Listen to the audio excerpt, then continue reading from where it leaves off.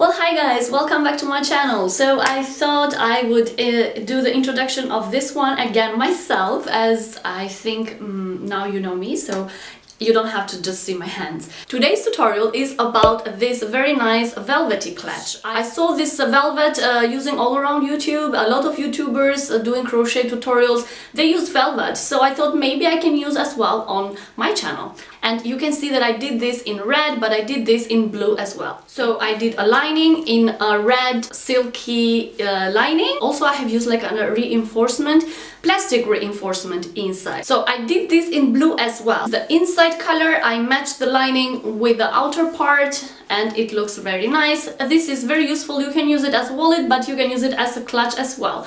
It takes in the phone, your keys, some money in. So yeah, it's very practical and be creative. You can use different kind of accessories. Another thing that is going on in my channel in this tutorial is also a very small giveaway. So if you want to do this clutch and you don't have the material, you don't have the yarn, well, you can win one. So I thought maybe in this tutorial I am going to do a small giveaway. You can be the winner. Write down a comment in the comment section down below and you can be the winner of one skein of velvet yarn. The same one that I used for this clutch. As I mentioned Instagram and Facebook a lot, I encourage you to follow me over there as well if you uh, are not doing so yet because there I do a lot of updates that maybe I don't do here on my YouTube channel and check my Etsy shop for mochila and tapestry crochet patterns and without further ado, let's just get into it. For this project I'm going to use velvety yarn and actually I got them online. It's 210 uh, meters long and is 100 gram. It recommends here like 3.5 to 4 mm hook but actually I'm working with a 3 mm hook. I feel better with this one. I will uh, drop the link in the description box if you want to get this yarn but you can get any other brand have this yarn as well. First we are going to start with a slip knot and I will work not very tight chain stitch. I will do 35 chain stitches. One, two, three, and 35. So once I do the chain stitch, and I was playing around with the alpine stitch and then I came up with this one. And now I'm going to do just a simple double crochet the whole row. I will insert at the third one. So I'm going to do one uh, double crochet. I'm just working with a double crochet so this one is one double crochet for me as well and this is the second double crochet. So now i'm going to work with a double crochet until the end. So i had in total i had 35 uh, chain stitches and three i used for for the first double crochet here. At the end i will have about 34 double crochet stitches okay including uh, this uh, chain stitch here that i have. Just keep working with a double crochet until the end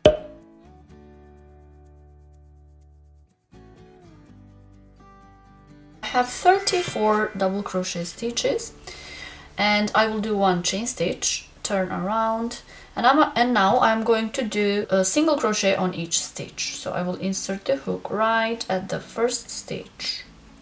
So on the way back I'm gonna have 34 single crochet stitches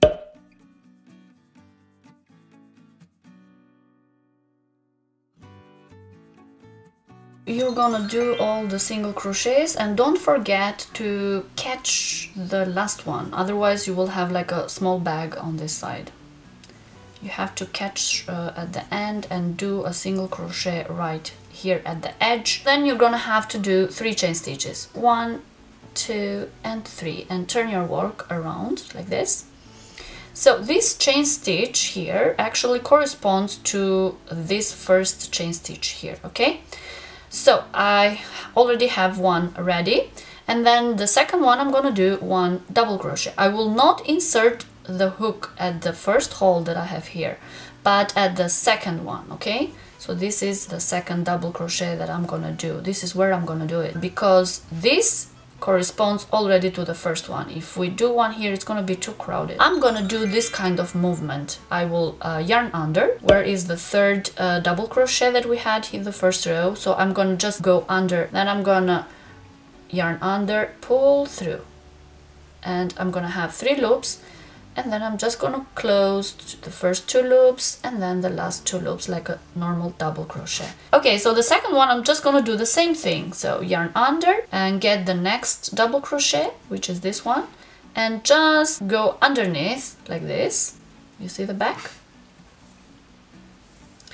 And then yarn under and pull through. And then I have three loops here so I'm just gonna close these three loops like a normal double crochet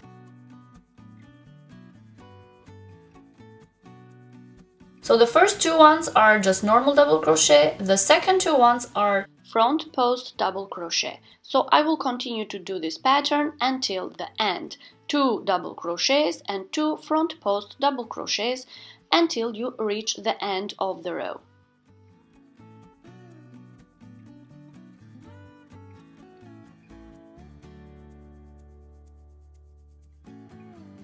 Okay so this is the last one and I will grab right here at the edge because I don't want any loose edges. I want straight eh, straight edges. This is how it is going to look like. So I have one two three four five six seven eight nine nine pairs with a normal double crochet. And then I have one two three four five six seven eight with pairs of front post double crochet. If you came up, come up with one more or one less at the end, it's not the end of the world, okay? It still will look beautiful. This is going to be the front and this is going to be the back. For the back, we are just going to do one chain stitch, turn around, and then work one single crochet until the end of the row. Okay, finished the back the single crochet row okay and then we do three chain stitches one two and three. So we turn around and for the next one these three chain stitches corresponds to these th uh, three chain stitches right? So now the pattern is going to be like this. For the next uh, two stitches I'm gonna do front post double crochet. So I'm gonna grab now these double crochets that I did here. So I'm gonna grab here or here or here or here, right? I'm not grabbing here anymore. I'm gonna grab here. So I'm gonna yarn under and for the next two stitches, I'm gonna go underneath. So the next one is this one. I'm gonna go underneath. Just be careful that you don't grab partially. Yeah, I did partially. So the next one, I'm gonna grab underneath and do a double crochet. Then this the third one again I will grab this one and double crochet. This is how it is going to look like.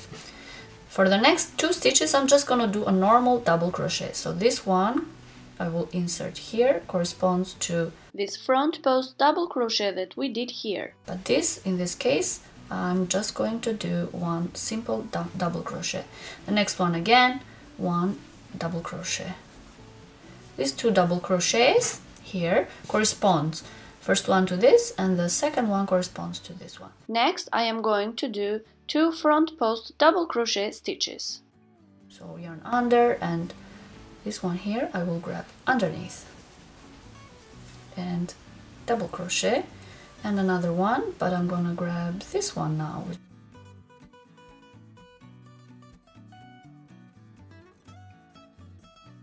So if you see I have switched a little bit on the right. So what I'm gonna do next is just keep working the pattern two normal double crochet stitches and then two front post double crochet stitches until the end of the row. Okay so I'm just shifting a little bit. If you can see these are two and then the two others are shifting one stitch on the right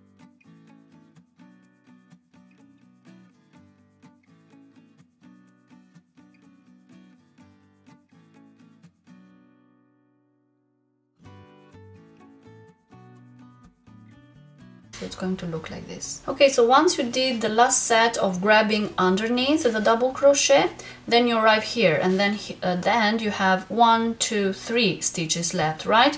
Which means that two you will do like normal double crochet and this one if you continue the pattern you have to do it grabbing underneath. But I, I, I don't do that because it will look not that nice. So for the last three stitches I'm just gonna do a normal uh, double crochet. I will just grab on top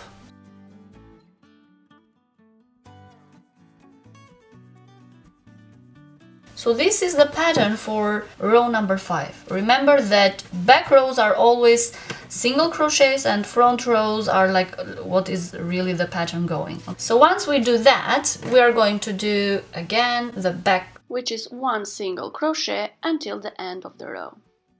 So here is the end of the row with a single crochet. Then I'm gonna just do one chain stitch, turn my work on the front. We do another two, so together with the first one, three chain stitches, okay? And then we turn around. So this chain stitch corresponds to the first one. The second stitch will be one front post double crochet stitch. I will grab underneath this one and then uh, the next one I'm gonna do one double crochet grabbing on top where, where I have the single crochet on the back okay? I'm not grabbing underneath anymore. So the pattern that I'm gonna follow is this one. One front post double crochet and one normal double crochet. So just keep alternating this pattern until the end of this row.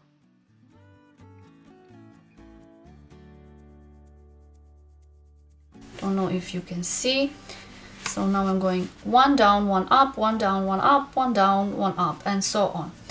So this is the end of one, I can say one mm, vein, let's say like that. This is the beginning of the next one. So I'm going to continue, uh, this one is going to repeat it up here again. Uh, I don't know if you understand the concept. Okay, so I came right near to the end. So I did one normal one underneath and then I'm left with two stitches up here I'm gonna do both of them uh, normal double crochet stitches because as I told you I don't like to have these um, loose stitches all around okay? So at the end maybe you will end up like this. This is a full pattern actually because now to the next row we just continue working the same as we did here.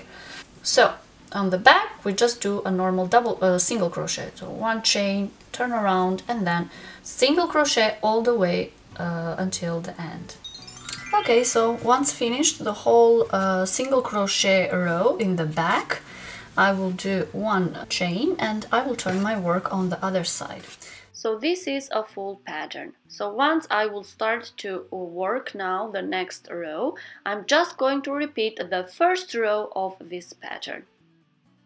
As you can see, this is the end of one vein.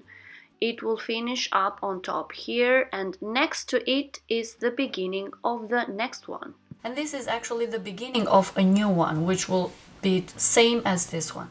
So I will leave uh, the written pattern on the description box down below. On top of this, so the next row, you just start the pattern from row number one and then you have the same pattern over and over again as many times as you want it to be repeated. Remember that the back is always one single crochet so the back pattern is always the same the pattern that I'm going to leave for you is always for the front one so this is how the pattern looks like repeated two times. Okay, so you just keep repeating that as long as you need the clutch to be, the bag to be. In my case, I will keep working seven and a half patterns, which means that I will have this pattern repeated seven times and then I will just leave it at this row over here and I'm not gonna do the row where I start the new one. Okay guys, so here it is. I finished the whole eight patterns as I told you, so I can show you. Here is one, two, three, four, five, six, seven, eight but at the eighth one I didn't do the last row. I'm fine with this size. So let me first show you measurements. So this one is 35 cm long and then 21 cm high. Once I did the last row I will have one chain stitch. Now I'm gonna go all around with just one single crochet. On this side where I have double crochet I will try to do one double crochet one single crochet in the middle and one single crochet where I have the joint of these two rows.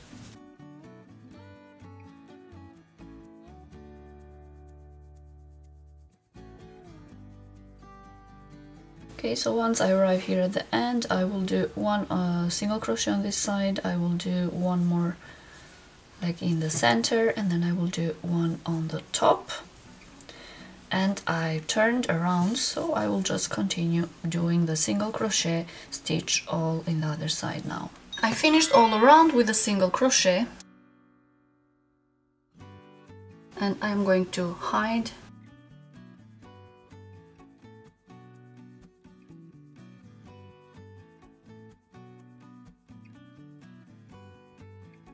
Okay, so with one skein, actually I have some left, like this, but not that much. Purse will be 36 and a half cm long, like this, uh, 21 cm high. Now for the back, this is the back. I have cut a piece of uh, plastic. This is actually a placemat uh, made of uh, like plastic but you can use any kind of material that is a little bit strong. I cut this one in smaller size, smaller than the uh, crochet part. So let me give you some measurements for this part. 31 cm and 19 cm. First I'm going to do the lining from inside. The lining I am going to do with this kind of uh, fabric. It's like uh, silk in blue color. I will drop the link in the description box. So the shiny part I need from outside. So I will put it this way. So the upper part is not the shiny part. Then I'm gonna put the uh, plastic part. So I cut uh, quite two and a half cm bigger okay than the plastic part. And I'm just going to use the a glue a normal white glue to glue first and then I'm going to sew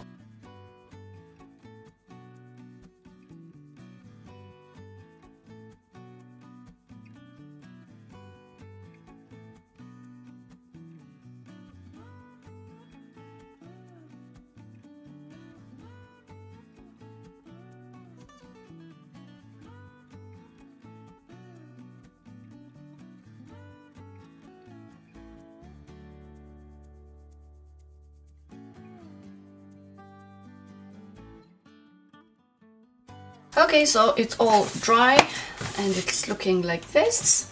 And now I am going to sew it. So this is the pattern side and this is the back side. All this will have to go uh, in. And then I'm going to position. So of course I have some edges going out and then I'm gonna sew with a small needle and the same color.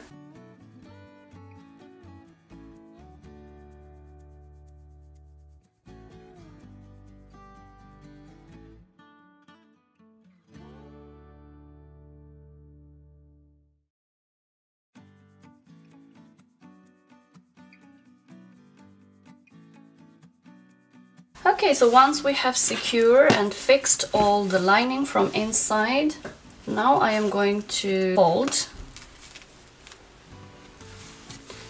And I have to find the right folding. Oh, like this. So let me secure first. This is just to keep the work safe. Then I'm just going to sew like a very simple and easy one, not any fancy sewing.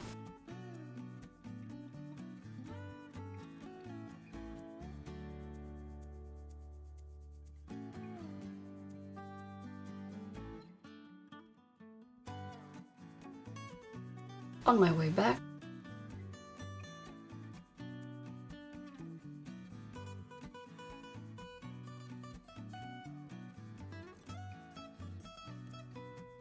will do the same on the other side. Okay, so here is how it is going to look like. Let me give you some measurements.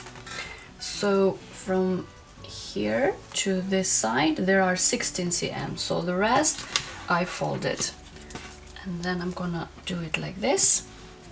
And I will press a little bit uh, because this is the shape that I wanted to be. You can just leave it uh, at that. I want to put some other decorations, which include again some crocheting. One, two, three, four, five, six, seven, eight. I will find the middle one, which is this one, I think.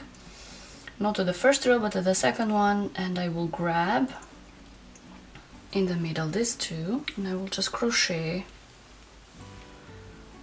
a very long string let's say.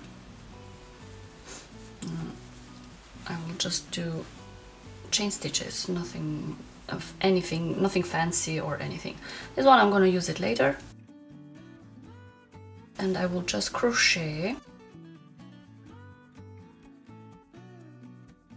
I crocheted this much because I want to fold it over uh, two times as I told you this side I need to use for some accessories that I want to put here but you can do any kind of decoration you want. I'm gonna use these two metal decorations I need to fix them with this other part of the yarn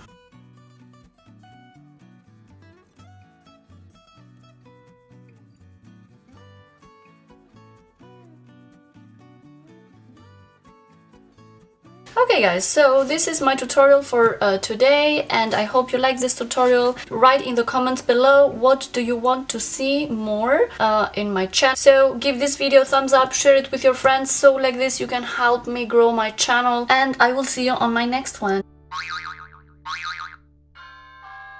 Well, hi guys. Nah. I... Wow. oh my god. Oh, I shouldn't do my eyes like that. Mm. Cheers!